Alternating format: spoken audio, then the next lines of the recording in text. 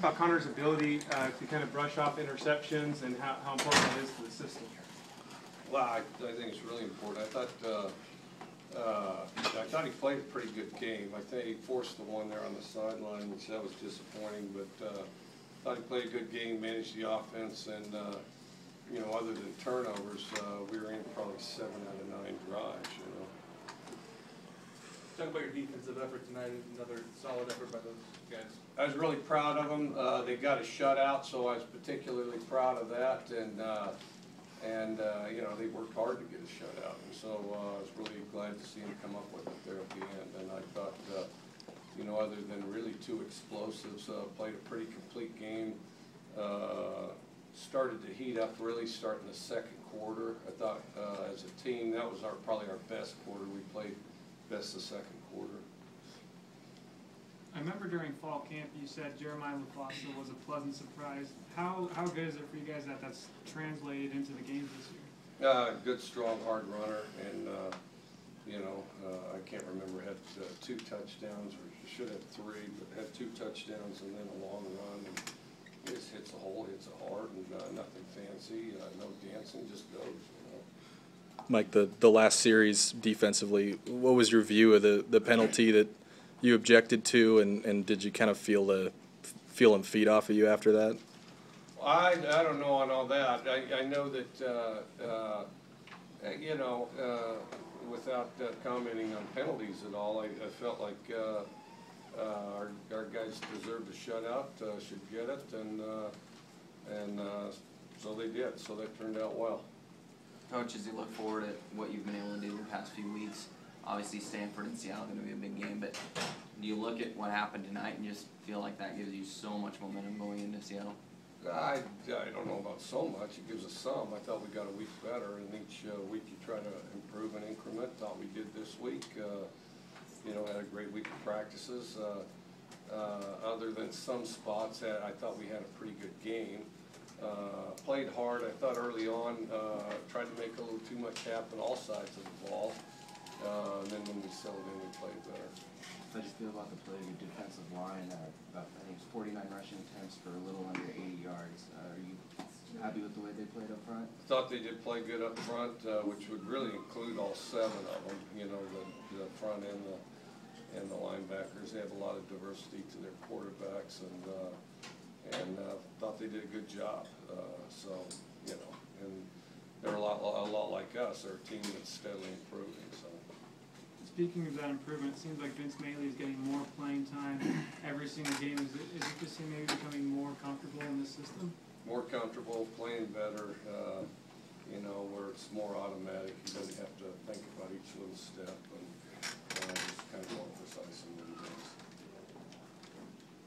Coach, what was said between you and Petrino after the game? Well, that would be strictly between uh, he and I, so, you know, anything uh, uh, said between us uh, would be private, and uh, so we'll leave it at that. Coach, did you hear the uh, fans chant your name after the game, or, or during the, the end there, where they were chanting Leach, Leach? And how does that kind of make you feel about Cougar Nation having your back? Well, I, uh, we have tremendous fans here. I mean, our fans are off the charts, and uh, of course, the student section there, they're enthusiastic even before the game starts. So I thought uh, really an impressive uh, showing by our fans, and uh, just a great environment to play. Connor, Do you consider this a win against a rival or just a team that happens to be close by? Uh, I guess a team that happens to be close by, you know, you get, you know, you prepare for everybody the same. Uh, You try to have a great uh, practice, you try to improve as a team and, uh, and, uh, and just play the best you can, play the best you can for sixty minutes. And, uh, you know, there's no time to spare and, uh, play the, play as hard as you can for sixty minutes. And I respected that about them. They played hard for sixty minutes. Connor started two of seven. Uh, was there anything that changed, or was that just him settling down, or he was sharper after that? Settle down, try to make too much happen. Coach, overall, what were what were your thoughts on Connor and really the offense just overall in general? Uh, I thought they improved, uh, thought, thought we got better, uh, uh, you know, just, uh, stepped the right direction, but we got plenty of room to work.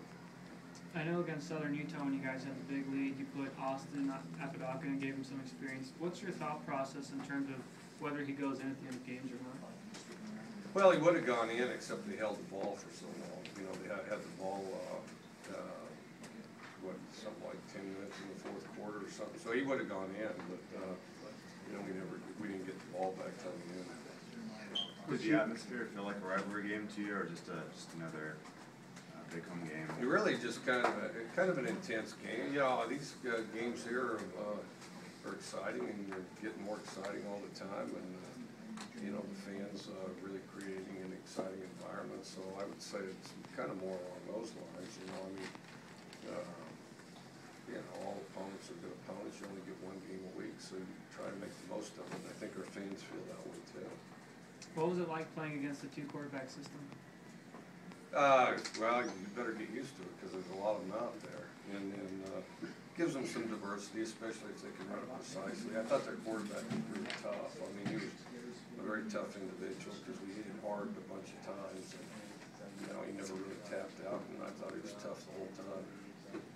Um, in the second half, uh, Idaho's running back, uh, one of theirs, uh, James Baker, really, really started to run on uh, the defense there a little bit. How were you guys able to kind of contain him, uh, especially going late into the third quarter there? Uh, I think, you know, he's a, is it, you're talking the big physical guy? Yeah, I think, I think, uh, big physical, uh, you know, I, I, and, uh, we were able to, to hold him in spurts, you know, I mean, because, uh, uh, you know, if, if one guy tackled him, he's gonna move the pile some, and so we did a pretty good job of, uh, getting more than one guy on him a lot, and which was important because he is a, he is a really big guy, and a big, strong guy.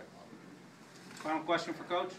Uh, Junior talked about respect everybody, fear no one. Is that a kind of something that you instilled and something that's different from last year? Uh, well, we talked about it last year, we're doing a better job executing